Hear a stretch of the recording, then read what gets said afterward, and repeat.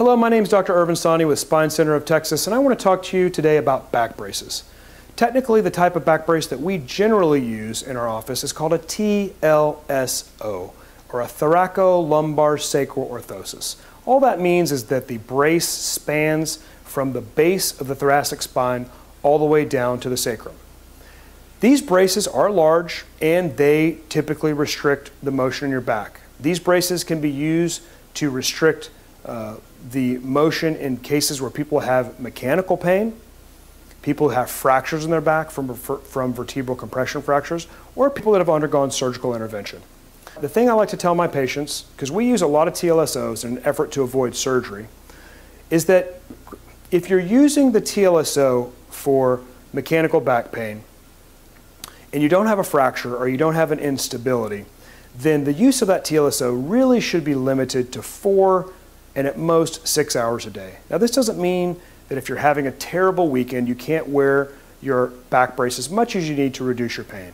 But when you go back and look back a month, on average, you should really strive to use that brace no more than four to six hours a day. And you should be wearing that brace during times that might cause maximal pain, such as working in your garage, doing some gardening, going for long walks, going shopping, Laying in bed and sitting down are typically not good times to wear your TLSO.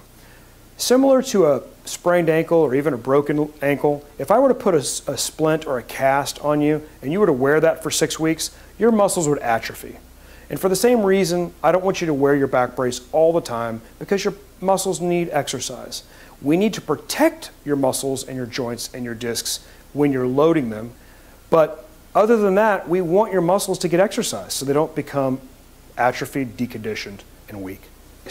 If you've been fitted with a TLSO and you don't feel like your brace is fitting properly, then please contact our office to come in for an appointment to make sure that it is fitting properly. Another question I commonly get is, is which parts of the brace do I need to use? There's multiple parts. There's a big plastic back, there's a plastic front, and there's a belt. There's really no right or wrong answer. You need to wear the brace in a way that makes you comfortable and reduces your pain. In fact, I've had patients tell me that sometimes after surgery, the brace makes their pain worse. This is very common right after surgery when your incision is still hot, you've still got staples in the skin, and the brace is just going to irritate them. Don't wear the brace if it makes your pain worse. Wait until after the staples are out, the wound is cooled off, and then you're going to probably find that TLSO provides excellent support and reduction in pain. But the bottom line is, in most cases, the TLSO is not to protect your back because it's unstable. It's to reduce your pain, increase your function, increase your mobility, get you up and moving, and get you through a rough time when your back is really hurting.